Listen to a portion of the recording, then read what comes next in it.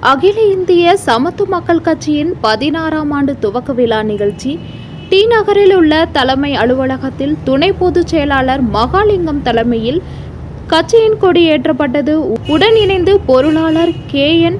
சுந்தரேசன் அவர்களும் நிர்வாகிகளும் தொண்டர்களும் பொதுமக்களுக்கு இனிப்புகள் வழங்கினர். நிகழ்ச்சியில் உடன் சென்னை மண்டல தலைமை நிலை செயலாளர் புரசை டி நாகப்பன் மாவட்ட செயலாளர் பாலகிருஷ்ணன் பொன்னரசன் எம். ஏ. ஆண்டனி குருமூர்த்தி பொன்வேல் உட்பட மற்றும் நிர்வாகிகள் கலந்து கொண்டனர். மேலும் அந்த வகையில் அனைத்து மாவட்டங்களிலும் கட்சியின் கொடி ஏற்றப்பட்டு இனிப்புகள் வழங்கினர்.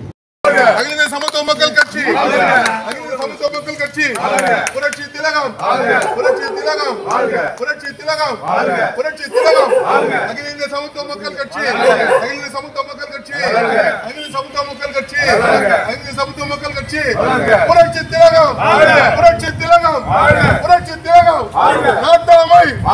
நாட்டாமை. புரட்சி தியாகம் புரட்சி தியாகம் புரட்சி தியாகம் அகில சமத்துவ மக்கள் கட்சி.